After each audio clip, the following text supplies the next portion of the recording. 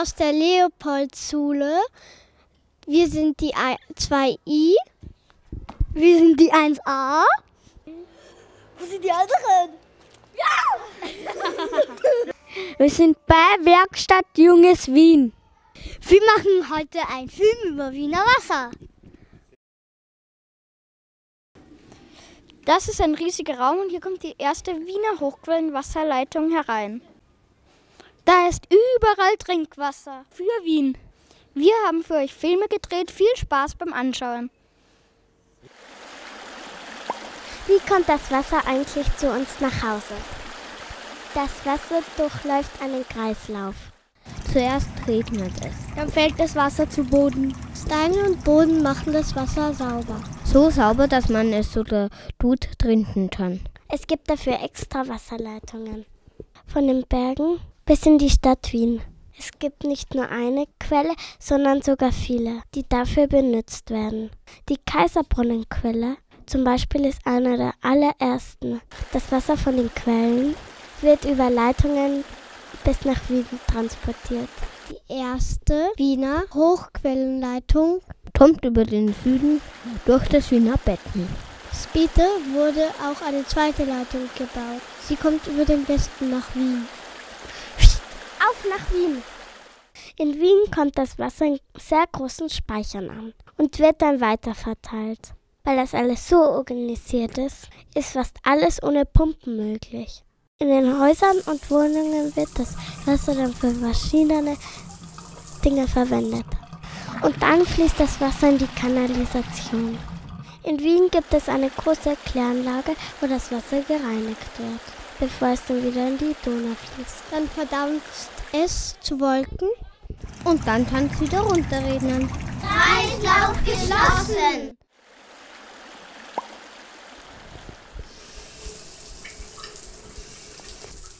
Was machst du da? Ich lasse das Wasser so lang rinnen, bis es aus ist. Das geht nicht. Das Wasser hört nicht auf zu laufen. Fragen wir mal Frau Rompold von Wiener Wasser, wie das so ist mit der Wasserleitung. Wie geht das, dass immer gleich viel Wasser aus der Leitung kommt? Das Wasser kommt ja von zwei Hochquellenleitungen, also von den Bergen, von den Alpen nach Wien. Es fließt im freien Gefälle und das Wichtigste, was du wissen musst, ist, dass wir 70 Quellen bewirtschaften im Quellgebiet. Also es ist wichtig, dass immer mehrere Quellen sozusagen nach Wien fließen können. Und zwar so viel, dass eben ausreichend Wasser da ist. Das sind ungefähr 4000 Liter in der Sekunde. Also 200 Badewannen jede Sekunde, die da in Wien ankommen. Ja, und solange das der Fall ist, geht das. Das geht nur deshalb, weil es das ganze Jahr über immer wieder im Quellgebiet regnet oder schneit und dieses Wasser in den Berg eindringen kann, durch den Berg durchsickert, unterschiedlich schnell, bei jeder Quelle anders schnell oder langsam und dann in der Hochquellenleitung nach Wien fließt.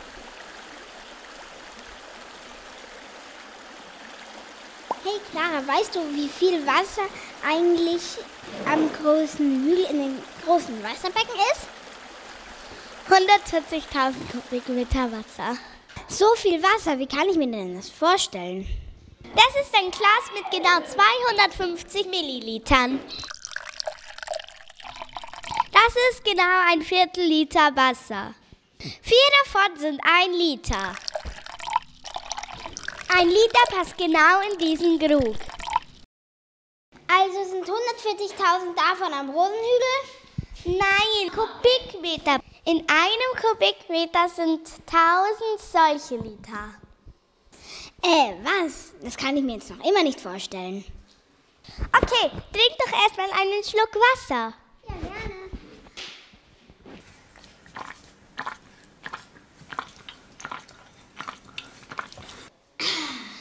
Super, das waren jetzt 15 Schluck in 25 Sekunden. Um den Rosenhügel leer zu denken, brauchst du also 84 Milliarden Schlücke. Das ist eine 84 mit 9 Nullen dahinter. Okay, das sind sehr, sehr viele Schlücke. Wollen wir ausrechnen, wie lange du dafür brauchst? Mhm. Ich glaube, um den Rosenhügel auszutrinken, brauchst du 4439 Jahre. Ich glaube, ich habe keinen Durst mehr. Um den Rosenhügel leer zu trinken, brauchst du also 84 Milliarden Schlücke. Nur gut, dass wir das ganze Wasser nicht nur zum Trinken verwenden. Die Wiener verbrauchen 130 Liter am Tag. Davon werden aber nur zwei Liter getrunken. Und wofür wird der Rest verwendet? Zum Duschen, Putzen, Blumen gießen, zum Geschirrspülen, Wäsche waschen und vieles mehr. Ach übrigens, pro Kopf landen 40 Liter am Tag im Klo. Was? So viel? Ja, das ist schon viel, aber vor 50 Jahren haben die Menschen mehr Wasser verbraucht. Wow, 1971 waren 300 Liter am Tag. Die Leute hatten früher aber auch andere Waschmaschinen und Klospülungen. Aha, in Zukunft könnten wir auch noch mehr Wasser einsparen. Na, das stimmt mal, aber man muss auch bedenken, dass viel Abfall in der Kanalisation landet. Und man braucht auch viel Wasser, um das Ganze wegzuspülen. Ach so, und das muss man ja wieder teuer reinigen lassen. Mhm. Also wenn wir schon beim Geld sind, kostet das nicht sehr viel Geld, wenn das Wasser so weit herkommt? Nein, das Wasser ist viel billiger aus der Leitung, wie wenn man es einkauft. Ah, richtig, hier steht's ja. Ein Liter aus der Leitung kostet nur 0,02 Cent. Wow, 50 Liter kosten ja nur einen Cent. Oh, wie lange brauche ich, um das alles zu trinken? Keine Ahnung, wollen wir schauen? Ja, gerne. Es war einmal. Puh, hier stinkt's. Alles fließt in diesen Fluss. Früher musste man das Wasser tragen. Wien ist so groß geworden, wir brauchen dringend frisches Wasser. Können Sie uns was über den Wasserspeicher erzählen? Besonders interessant finde ich den Wasserspeicher am Rosenhügel. Das war nämlich der erste Wasserbehälter, der in Wien gebaut wurde. Der ist deshalb so wichtig, weil dort das Wasser der ersten Hochquellenleitung ankommt. Ähm, und das war auch schon vor fast 150 Jahren so, denn der Wasserspeicher wurde 1873 fertiggestellt. Damals hatten wir keine Bundeskanzlerin, sondern einen Kaiser, der das Land regiert hat. Hallo, ich bin der Kaiser Franz Josef. Hiermit eröffne ich die Wasserleitung. Aber zuvor musste der Kaiser noch eine Hochquellenwasserleitung bauen lassen. Von der Rax über die Täler bis nach Wien. Da gab es natürlich auch Aquädukte. Die Leitung ist 95 Kilometer lang und wurde beim Hochstrahlbrunnen vom Kaiser eröffnet. Hinter mir sieht man den Hochstrahlbrunnen. Und der Wasserbehälter war damals auch viel kleiner, als er heute ist. Und weil im Winter ganz wenig Wasser gekommen ist und im Frühjahr ganz viel Wasser, sind sie dann drauf gekommen, gut ist, wenn man viel Wasser speichern kann. Also haben sie den Wasserspeicher vergrößert, größer gebaut. Und ein paar Jahre später sind sie drauf gekommen, besser ist, wenn er noch größer ist. Der Wasserbehälter am Rosenhügel wurde also dreimal erweitert. Das ist so viel Wasser, das kann man sich eigentlich gar nicht vorstellen. Wann wird am meisten Wasser verbraucht? In der Früh wird am meisten Wasser gebraucht. Beim Zähneputzen, Hände waschen, Frühstück machen und beim Duschen. Und in der Nacht, wenn die Leute schlafen, wird natürlich am wenigsten Wasser verbraucht. Wie stellt man sicher, dass immer genug Wasser da ist? Das ist gar nicht so einfach, das sicherzustellen, weil man muss nämlich in die Zukunft sehen können. Das Wasser braucht von den Alpen bis nach Wien bei der einen Leitung 24 Stunden und bei der zweiten Hochquellenleitung 36 Stunden, also eineinhalb Tage. Das heißt, die Kollegen, die das organisieren, die müssen wissen, wie wird in den nächsten zwei Tagen das Wetter in Wien sein. Sind da Ferien oder sind keine Ferien? Weil wenn Ferien sind, sind ja viel weniger Menschen in der Stadt normalerweise. Oder ist zum Beispiel Wochenende. Am Wochenende sind auch weniger Menschen in der Stadt. Also rufen meine Kollegen, die in Wien sitzen, die Kollegen und Kolleginnen an, die im Quellgebiet sitzen und sagen denen, übermorgen brauchen wir so und so viel Wasser. Brauchen wir besonders viel, weil es wird sehr heiß werden, es hat über 30 Grad, es sind aber noch keine Ferien, also schickt alles Wasser, was ihr habt. Und in Wien haben wir zum Glück 30 Wasserbehälter, sodass wir auch dann auskommen mit dem Wasser, wenn wir jetzt nicht ganz richtig liegen würden mit der Schätzung des Wasserverbrauchs. Aber es ist noch immer bei weitem genug Wasser da, dass man noch zwei Tage auskommen würde, auch wenn gerade gar kein Wasser aus dem Quellgebiet nach Wien fließen würde. So funktioniert das. Wie kann man eine Wasserleitung reparieren? Wenn irgendwo ein Loch in einer Wasserleitung ist, dann wollen wir das natürlich reparieren. Und der erste Schritt ist, dass dort das Wasser abgedreht werden muss. Und dann wird die Leitung dort, wo das Loch ist, abgeschnitten, davor und dahinter. Und dann muss ein neues Stück Leitung eingesetzt werden. Das ist ziemlich aufwendig, kostet auch viel Geld.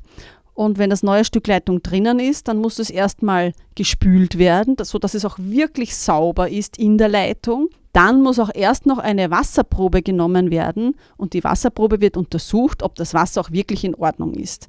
Also ist so eine Wasserrohrauswechslung recht aufwendig und viele Menschen wundern sich auch, warum, wo ja schon das neue Rohr in, der, in dieser Baugrube ist, warum da noch nicht zugeschüttet wird und warum noch nicht sofort wieder alles in Betrieb genommen wird. Das liegt daran, dass wir oft auf die Ergebnisse von dieser Wasseranalyse warten müssen. Und wenn die Wasseranalyse das Ergebnis zeigt, dass alles in Ordnung ist, wird zugeschüttet, wird die Straße wieder instand gesetzt und dann fließt auch im Haushalt wieder das Wasser. Also da sind wir sehr, sehr genau, weil ja die Wasserhygiene, die Wasserqualität das Allerwichtigste ist. Wir machen jetzt einen Test. Du musst herausfinden, welches das Wiener Hochquellenwasser ist.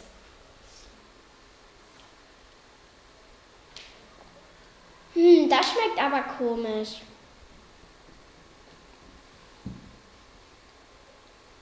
Das zweite Glas Wasser. Das ist ein Mineralwasser. Das letzte Glas.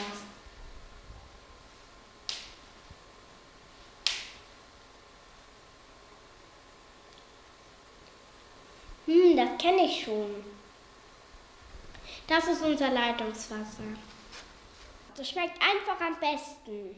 Fragen wir mal Frau Rompold. Warum schmeckt das Wiener Wasser so köstlich? Das ist meine Lieblingsfrage. Das Wiener Wasser ist hauptsächlich deshalb so köstlich, weil es so klar und frisch ist, weil es so kalt aus der Leitung kommt und weil es aus so gut geschützten Gebieten in den Alpen kommt. Also dort ist wirklich nur Natur und das ist das Allerbeste für das Wasser, weil es wird durch nichts verunreinigt. Und das fließt ganz von alleine nach Wien und die niedrige Temperatur, diese kalte Temperatur, die es im Quellgebiet hat, die hat das Wasser auch noch, wenn es nach Wien kommt. Das ist auch ein großer Vorteil, weil uns einfach kaltes Wasser besser schmeckt als lauwarmes Wasser. Und das Wasser ist ja sauerstoffhältig. Es hat einen hohen Sauerstoffgehalt und das trägt auch zum guten Geschmack des Wassers bei. Wasser ist sehr wichtig für uns Menschen. Es ist ein Lebensmittel. Wir haben das Recht auf Wasser. Deshalb hat Wien dieses Wasser für uns geschützt und auf langfristig gesichert. Im Gesetz von Wien steht festgeschrieben, dass das Wiener Wasser nicht privatisiert werden kann. Das bedeutet, dass keine privaten Firmen mit dem Wiener Wasser Geld machen können. Sondern das Wiener Wasser muss für alle da sein. Yeah!